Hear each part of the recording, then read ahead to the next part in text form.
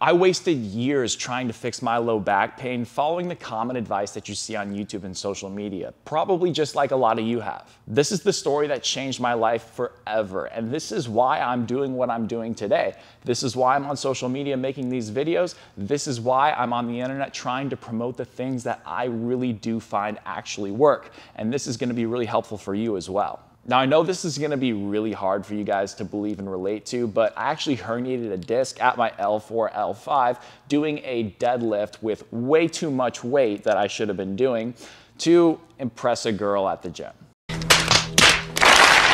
I was pulling the weight off of the floor and then I felt a pop at my left low back and then boom, I immediately hit the floor.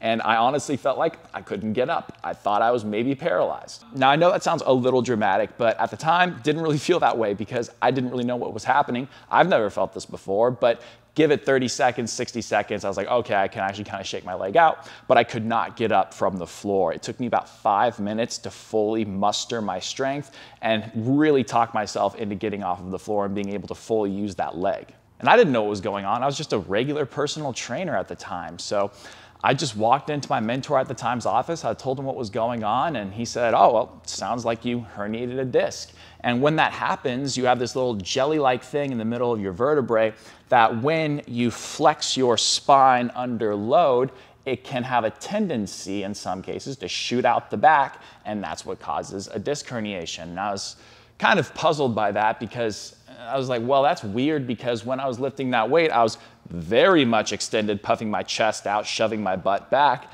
And I didn't really come out of that position until I hit the ground. So that was the first thing I was kind of scratching my head about. But regardless, I didn't know what was going on. This guy was way smarter than me. So I just started doing his rehab exercises. I was doing things like McKenzie extensions. I was doing things like kettlebell swings, trying to puff my chest out and really build up and strengthen my low back.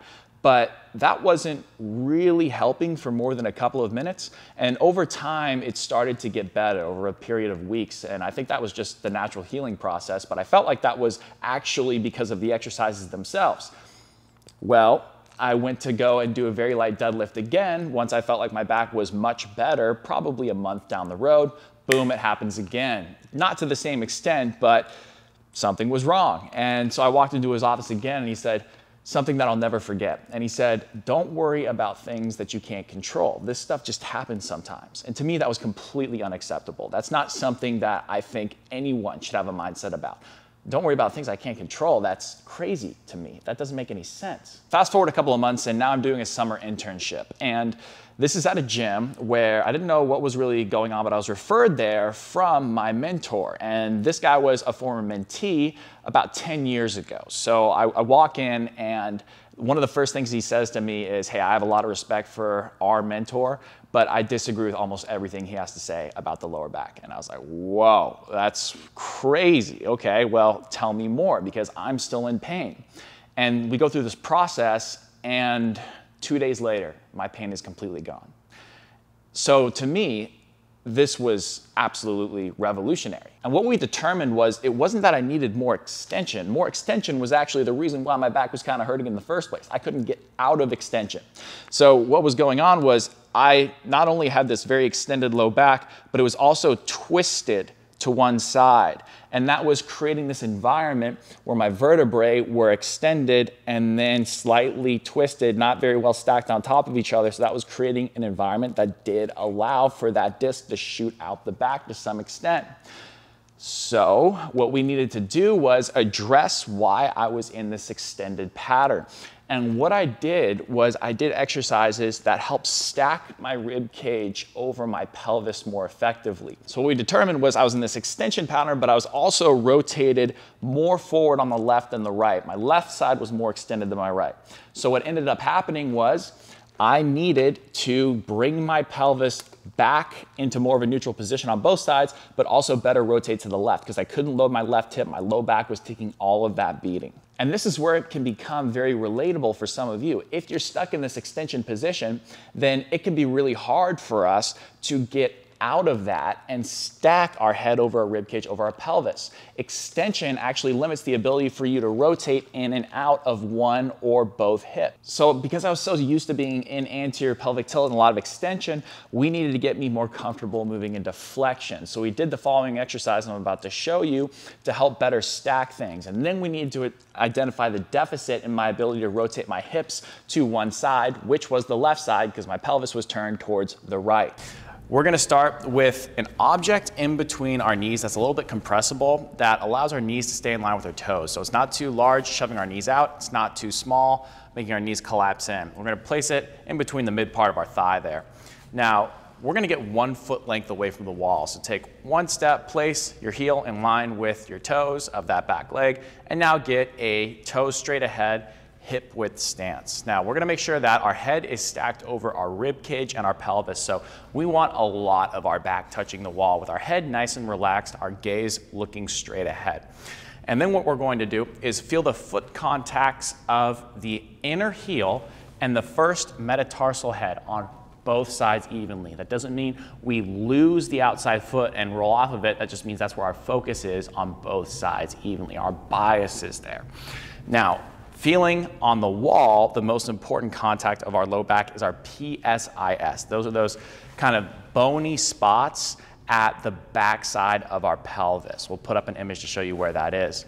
So Trevor's gonna be focusing on those foot contacts and on the wall, the PSIS evenly on both sides relative to what he's capable of doing. Now he's gonna place his hands on a chair, ideally something that he can kind of roll or push, and he's just gonna reach it away from him, not letting his sternum depress. So he's gonna stay, again, nice and tall and stacked. So he's just gonna reach that slightly away. That's gonna give him some protraction of the shoulder. His shoulder blade is gonna move away from his spine, but he's gonna remain tall. Now all he's gonna do is breathe in through his nose silently, out through his mouth, sighing the air out. For about five to eight seconds of an exhale. At the end of that exhale, he might feel a little side abs engaged, not six pack abs, but side abs. He's going to maintain a slight contraction in those side abs as he silently, super slowly inhales through his nose. And that's going to give him some nice opening of the backside of his rib cage. And he should feel some expansion back there. We identified this through a few tests, primarily that I could better rotate my pelvis to the right than to the left. And also I had better internal rotation on my right hip and better external rotation on my left hip. You could see how if I turn my pelvis to the right side, how that would influence the ability for this leg to turn in more and this leg to turn out more. So we needed to create space for me to better shift into internal rotation on my left hip. So we did this following exercise that helped open up the back of my left hip to create more of that space. This is the standing supported posterior hip capsule stretch. What we're gonna do is find something that's about waist height, whatever that is. It could be a desk, it could be a bench, whatever. And we're gonna find something that we can keep our whole foot flat on. So we have a little block here, but a book can work perfectly fine so long as your whole foot is flat. And it's about two inches. I wouldn't go much higher than that. One to two inches is all you need. So what we're gonna do is start with our feet hip width apart, toes pointing straight ahead. Jacob is gonna take a slight step forward with his passive leg here. So that way he has his toes in line with the midfoot because we're stretching out the left side. So the left toes are in line with the right side midfoot, toes pointing pretty straight ahead.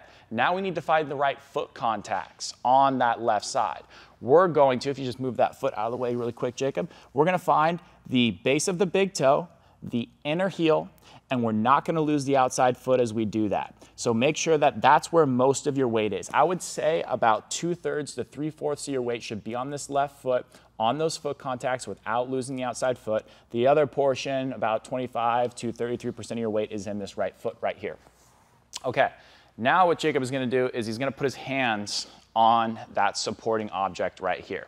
Now this is more of a shift than sort of trying to dump into your hips initially. So the way that we can ensure we're doing this effectively is for Jacob to just keep more or less the same amount of hip bend and sort of push his pelvis back and off to the left. He's gonna turn his zipper towards the left foot arch right there. And as he does that and leans back a little bit right there, he should feel a stretch back right exactly around this region right here. It shouldn't be in the front of his hip or this side, it should be exactly right there. So one way that you can ensure that you get a good stretch and to make sure your zipper is facing the right way is to push the right knee slightly forward and the left knee very slightly in. And then I finally needed to train the muscles that help shift me into my left hip properly into that new space that I just created. The muscles that are primarily helpful for that are my inner thigh adductor muscles, which create that internal rotation, and also my oblique muscles, because the obliques help pull the rib cage down and the pelvis back on that side, and the adductors, again, help pull us into that given side, the left side in this example. This is the sideline adductor pullback activity. What we're gonna do is lay on our side and we need a 90 degree bend at both our knees and our hips. And we also have the head supported on that bottom side arm, just like that, nice and perfectly relaxed. We also have an object in between our knees. Now this needs to be a slightly compressible object. We have a ball here and you could also use like a pillow folded in half, Worst case scenario, you could maybe use a foam roller, but it's generally not as compressive as we want it to be, but something like that. The object needs to be a good enough size to where it allows the knees to stay in line with the feet and also the hips. We don't want it to be too wide to where we're up here or the knee is collapsing down too much. So this is a great starting position for Trevor right here. The first thing we're gonna do is make sure our feet are nice and flat on that wall on both sides. A big common setup mistake I see is people have their feet too far back or too far forwards. You want, again, that 90 degree bend right there.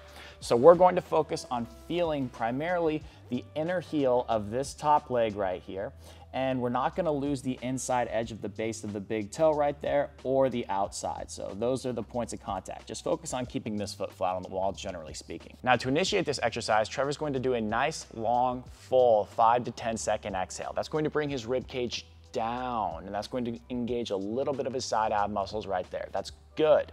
Now, that might tuck his pelvis underneath him a little bit, but it should happen because of the exhale. So he's gonna feel like his rib cage comes down and in a little bit as a net result of that full exhale. That's good. Now, focusing on those foot contacts on the top side, Trevor's going to very subtly pull this top knee back just a couple of inches, not letting his feet move on the wall. And then he's going to exhale and very gently push down. Gentle is the key word right here, three out of 10 and that's going to engage his top side legs inner thigh muscle and maybe a little bit of the side of his butt cheek, but we'll talk about that in a second, but primarily that inner thigh. Then he's going to inhale again and try to pull it back just an inch further. If he can't get it to go back further, that's okay. Just have the subtle but low effort intention to, and that will help you get more of that inner thigh muscle on that top side. And then he's gonna repeat this process. He's gonna do this for a total of five breath cycles. He's never gonna let this top knee move forward. He's always gonna keep it pulled back with the intention of pulling it just a couple of centimeters or even millimeters back with each subsequent inhale. Inhale back through the nose, exhale, very gentle push down. Remember, low effort is key and we're focused on keeping the rib cage down. I did those exercises both in the morning and at night for two days for about three sets of five breath cycles. And my pain completely went away and was so much better after doing that. And comparing that to what I did before with those just basic standard rehab exercises that you see all over the internet, just extension biased exercises, core strengthening exercises, it just wasn't enough. It wasn't getting the job done because it wasn't the root cause. I hope you guys enjoyed learning a little bit about my own personal story and what I did to overcome a lot of the generic stuff that doesn't work and how I finally found the root cause of my issues. And hopefully that inspires you guys to do the same and gives you some insight and some exercises you can try for yourself. I hope you guys enjoyed it and I will see you in the next one.